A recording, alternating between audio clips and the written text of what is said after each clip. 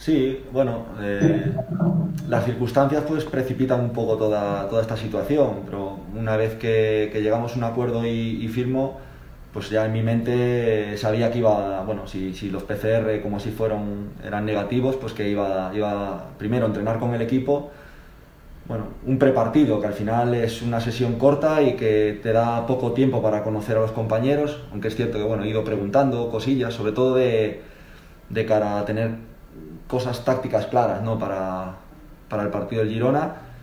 Y, bueno, ya mentalizándote que toca, que toca jugar. Al final, bueno, pues con la edad y la experiencia, pues eh, lo llevas bien. Ayer me encontré bastante bien. Es cierto que, bueno, fue un partido que en momentos puntuales eh, se nos escapó. Creo que cuando mejor estábamos, quizás recibimos el primer gol pero mis sensaciones pues eh, fueron bastante buenas, a, pesar de evidentemente que, se verá lo mejor o sobre todo internamente cuando lleve pues eh, más tiempo con el equipo. La oportunidad pues con muchísima ilusión.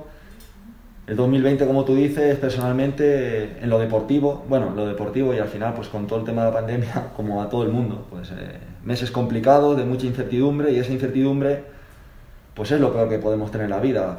Cuando tú sabes que tienes algo malo, bueno, pues lo afrontas, pero cuando no sabes ni lo que va a pasar, y en el fútbol un poco, pues me, ha pasado lo mismo, tanto en los últimos meses en Coruña, porque la situación del equipo no, no, era clara, parecía que salíamos de ahí, luego nos volvíamos a meter, como tú dices, en un histórico y un, equipo a priori hecho para, para otras cosas. Eh, nos penalizó muchísimo jugar sin público, lesiones, yo mismo he estado jugando lesionado mucho tiempo, porque bueno, en esas situaciones toca hacer lo que te piden y, jugar como puedas. Entonces termina la temporada y aunque, bueno, eh, mi intención era quedarme en Coruña, al final no llegamos a un, acuerdo.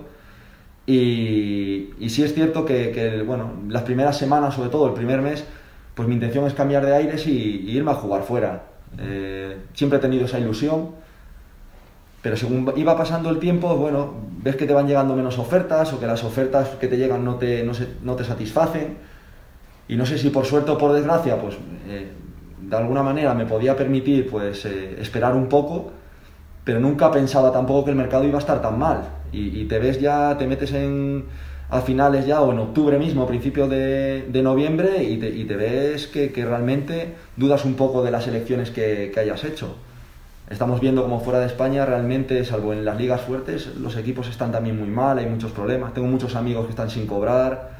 Uno de mis últimos mm, compañeros, que tengo un gran cariño, Borja Valle, por ejemplo, se ha tenido que volver a, su casa porque no cobraba.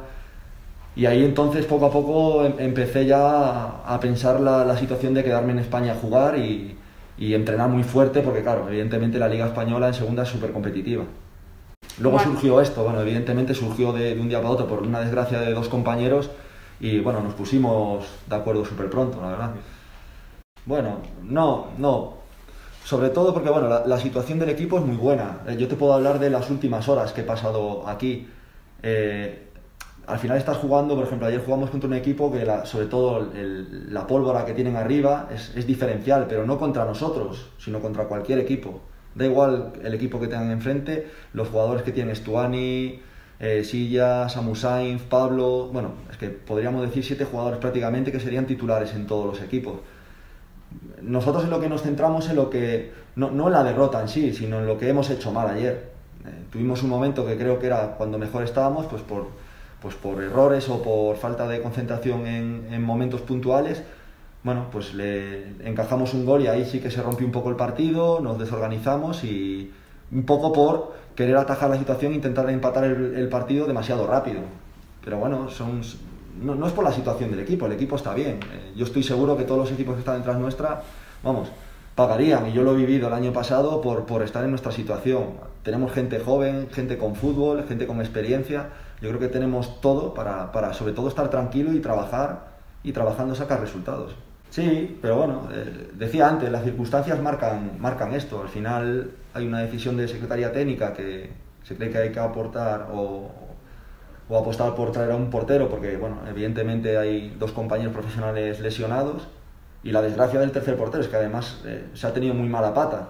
O sea, pero, pero bueno, eh, son cuestiones que pasan y al final yo me tengo que adaptar, igual que el club se adapta, pues fichándome, yo me tengo que adaptar a al entorno, al equipo y a, y a competir, pues como fue ayer, en 24 horas prácticamente.